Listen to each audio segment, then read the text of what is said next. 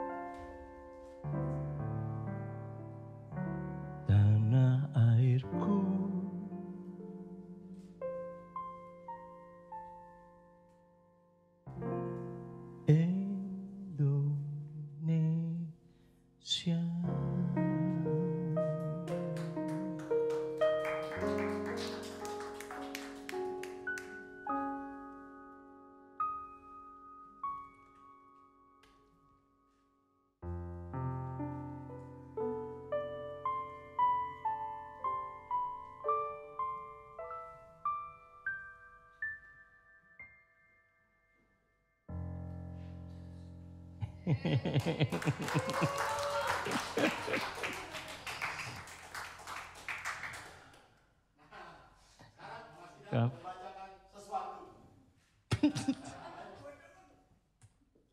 lu.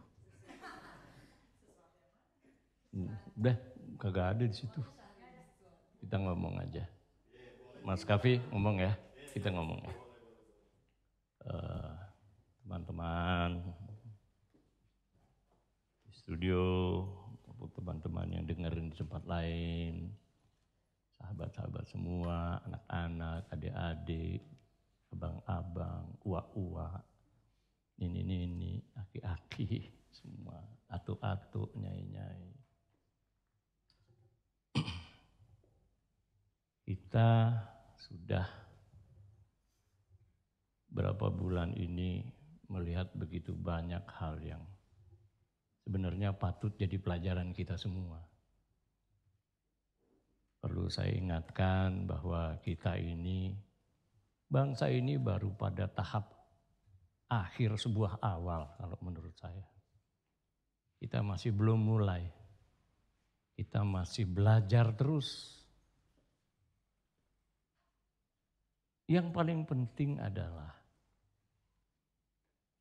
kita mulai melihat sebuah kata yang disebut dengan apresiasi, yaitu saling menghargai.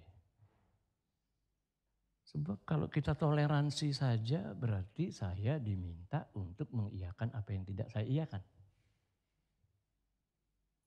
Toleransi membuat saya menjadi eh, tidak ikhlas. Saya mesti mengiyakan dan saya mesti bertoleran bahwa oh ini mesti saya iyakan. Padahal saya tidak iya. Akhirnya saya jadi bohong. Maka bibit perpecahan itu selama-lamanya akan ada di situ. Saya pribadi sih kurang setuju dengan itu. Saya lebih menawarkan sesuatu yang disebut dengan apresiasi. Yaitu menghargai. Saya boleh tidak sependapat dengan siapa pun, tapi saya menghargainya. Berarti kalau saya saling menghargai, berarti esensi yang satu ada di saya. Esensi saya ada di yang satu. Maka kita saling menghargai. Sudahkah cukup hati kita untuk menghargai? Sudahkah cukup hati kita untuk mengatakan bahwa saya belum telat untuk mengindahkan hati. Saya belum telat untuk uh, saling memaafkan. Belum telat saya untuk berbenah hati dan berbenah diri. Belum telat. Kenapa kita tidak belajar membenahi diri kita masing-masing? Apalagi konteksnya negara. Konteks negara kan kita ini negara merdeka ya. Merdeka itu kan saya bilang sama Ican waktu itu. Chan, merdeka itu kan adalah hak setiap orang atau hak setiap bangsa untuk mendisiplinkan dirinya sendiri agar tidak didisiplinkan oleh orang lain. Maka kalau kita masih didisiplinkan oleh orang lain, ya kita belum merdeka. Nah ini kita pegang sama-sama. Bahwa ada yang berlainan. Allah subhanahu wa ta'ala, Tuhan yang Maha Esa ini mengajarkan kita keluar pintu rumah aja kita udah lihat. Ada pohon duren, ya Bang Kavi ya. Ada pohon mangga, ada bunga mawar, bunga melati, bunga kentut ayam. Kan kalau misalnya cemara semua nggak enak kan. Maka Tuhan begitu kita keluar dari rumah kita udah belajar bahwa oh, perbedaan ini indah sekali. Termasuk perbedaan pendapat. Kenapa kita mesti bertengkar? Kenapa kita mesti apa mesti unfriend?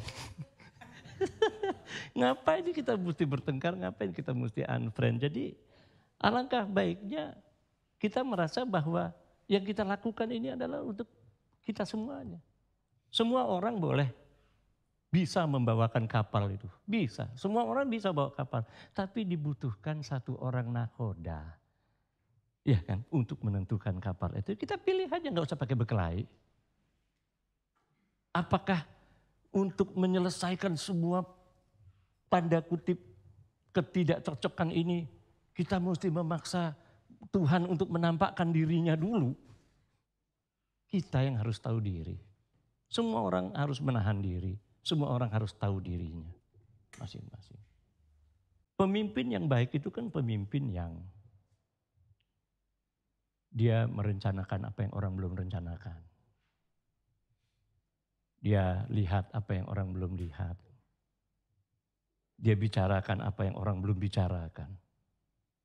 Dia buat apa yang orang belum buat. Dia niatkan apa yang orang belum niatkan. Tapi yang namanya pemimpin itu kuping dua nih. Mulut satu. Berarti porsi mendengar harus lebih banyak daripada porsi berbicara. Butuh waktu dua tahun untuk ngajarin orang ngomong. Butuh waktu 50 tahun untuk ngajarin orang diem sama dengar. Iya kan? Jadi marilah kita mendengar, saling mendengar. Kayak orang main band. Kita dengar satu sama lain. Sehingga kalau saya nggak dengerin, kalau Iwan nggak dengerin Rio, Rio nggak dengerin Iwan, jadi kayak apa bunyinya? Kan tidak ada harmoni. Makanya belajarlah dari pemusik. Ya kan? ya kan? Pemusik itu kan saling mendengar. Sehingga terjadi harmoni. Utara dan selatan memang beda. Uh, barat sama timur beda. Tapi ada satu titik yang disebut dengan titik harmoni. Masalahnya kita mau tidak ke sana. Mau nggak kita? Ada tidak will kita ke sana? Jadi kepada teman-teman semua, mari kita rendahkan nada bicara kita. Sekarang-sekarang ini.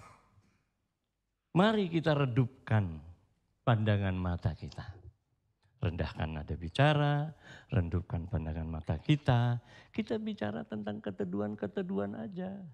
Karena kalau kita bicara tentang keteduhan-keteduhan saja, orang yang pertama kali merasakan keteduhan itu adalah kita sendiri. Kenapa kita mesti ribut? Kalau kita ribut-ribut, anak kita jadi nggak sekolah. Tukang pedagang nggak bisa dagang. Ya kan? Itu kan berarti mari coba kita menghargai orang-orang di sekeliling kita. Kita didik anak-anak kita yang benar. Kita didik lingkungan kita yang benar. Ya, jadi kita jangan ngomong jauh-jauh. Ya. Jadi kita jadi orang sederhana aja. Untuk teman-teman yang ikut-ikut meramaikan pesta demokrasi ini, ya kan? Uh, saya hargai Anda semua ikut meramaikan. Kan jadi rame emang enak kok kita lihat. Ini kan pesta rakyat. Ya kan?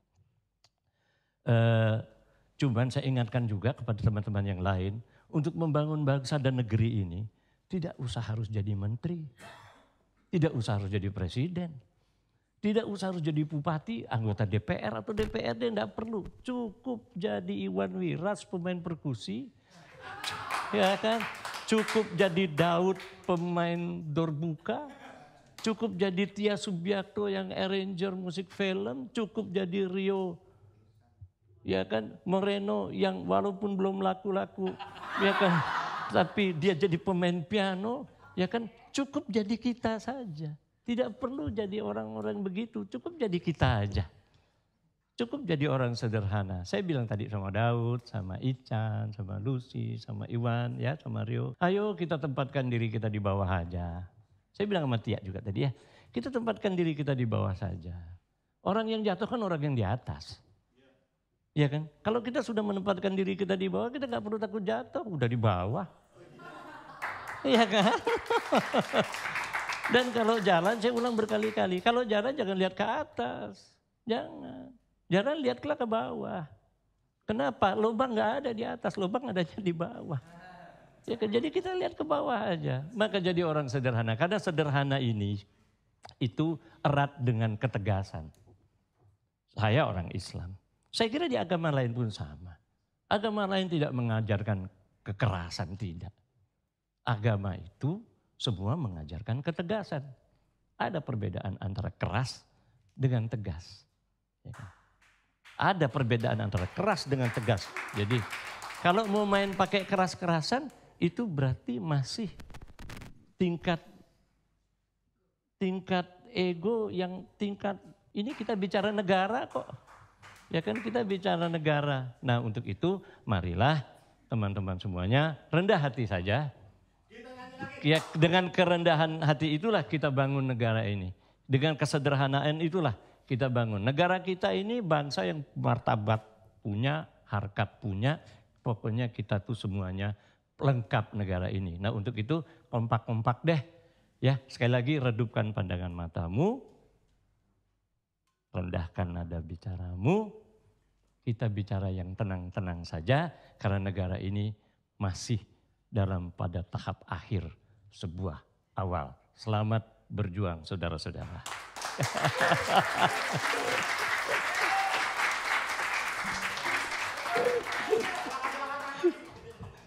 Musik lagi. Yuk main yuk. Nyanyi, gue nyanyi. Minggir. Hmm.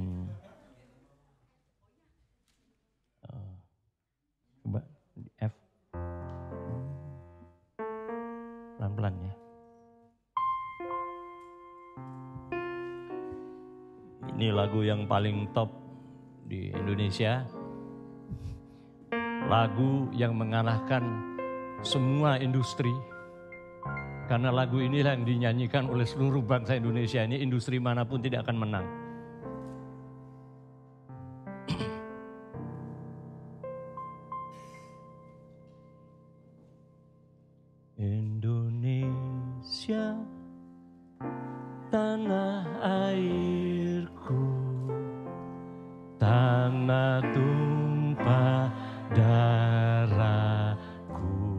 Kenapa sih gue yang nyanyi?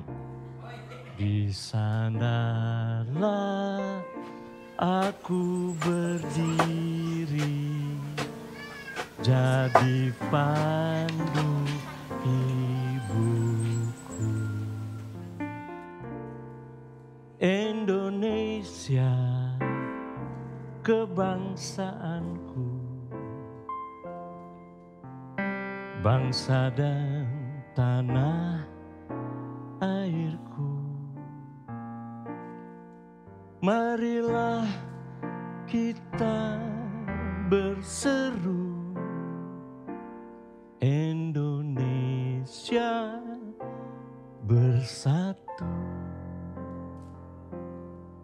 Hiduplah tanahku Hiduplah negeriku Bangsaku Rakyatku Semuanya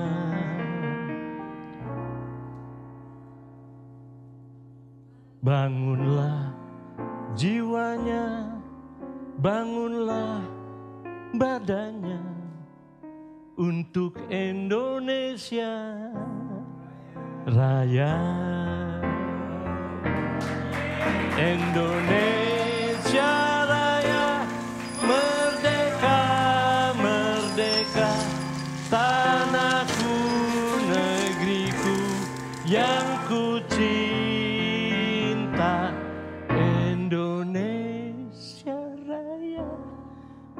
Merdeka, merdeka. Hiduplah Indonesia Raya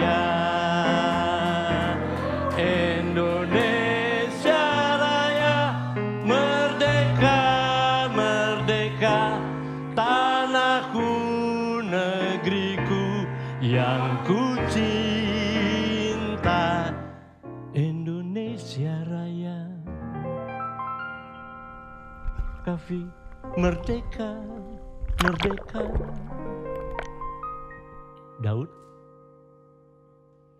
Lucy? Ican? Hiduplah Indonesia. Oh hiduplah Indonesia. Hiduplah